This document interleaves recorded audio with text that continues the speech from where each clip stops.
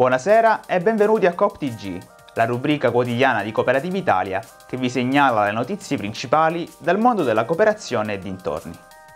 Il CDA di Coop Fund ha approvato le nuove regole di supporto finanziario per le start-up cooperative. Nello specifico, il regolamento si riferisce ai vincitori del bando Coop Startup e alle start-up innovative iscritte al registro speciale della Camera di Commercio se aderenti all'Ega Coop viene confermato il contributo a fondo perduto di 5.000 euro per le spese di costituzione delle start-up, mentre viene introdotto un moltiplicatore che va da un minimo del 100% ad un massimo del 175% in funzione del versamento effettuato dai soci cooperatori. CopFond ha firmato anche una convenzione con Banca Etica, che consentirà alle start-up cooperative di accedere a forme di microcredito di massimo 25.000 euro o ad altri finanziamenti a medio termine. Le risorse messe a disposizione da Coop Fund sono di 50.000 euro per le start-up vincitrici di Coop Startup e di 100.000 euro per le start-up innovative iscritte al registro speciale della Camera di Commercio. L'immigrazione è diventata ormai il tema principale del dibattito pubblico. Spesso però si parla di fenomeni migratori senza cognizione di causa, diffondendo notizie false e citando numeri inesatti. Per questo vi consigliamo di leggere il rapporto annuale 2016 sulle comunità migranti in Italia, elaborato dal Ministero del Lavoro e delle Politiche Sociali. Il report diffonde i dati sulle 15 comunità migranti più numerose in Italia, analizzando le caratteristiche sociodemografiche di ogni nazionalità, la presenza di minori e i relativi percorsi di istruzione e formazione, oltre all'inserimento occupazionale e alle politiche di welfare e i vari processi di integrazione. Secondo i rapporti del Ministero, al 1 gennaio 2016 il principale motivo di ingresso nel nostro paese è il ricongiungimento familiare, che riguarda quasi il 45% del totale dei nuovi permessi di soggiorno rilasciati nel 2015. I titolari di permesso di soggiorno Unione Europea di lungo periodo sono invece il 60% del campione e di questi il 24% riguarda minori non accompagnati.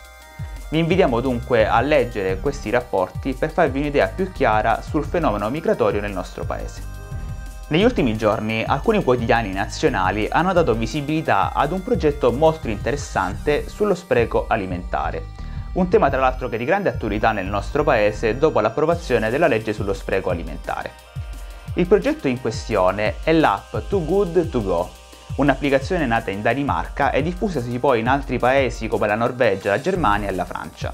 Too good to go significa letteralmente troppo buono per essere buttato via.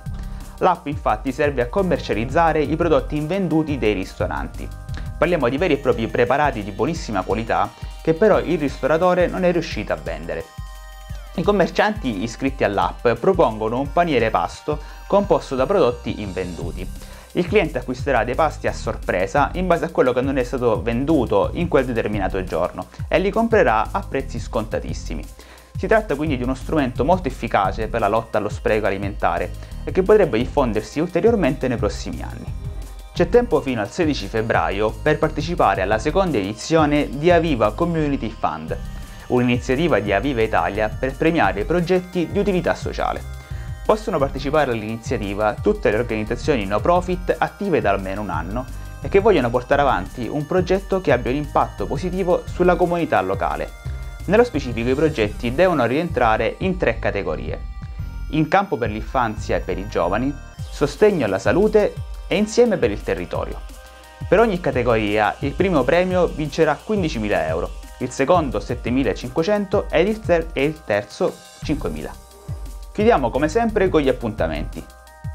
Lunedì 30 gennaio alle ore 9.30 presso l'Università di Torino si svolgerà l'evento dal titolo Servizio Civile Nazionale, un progetto di cittadinanza, organizzato da Conf Cooperative Piemonte.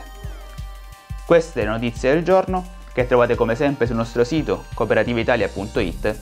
Vi diamo appuntamento a lunedì.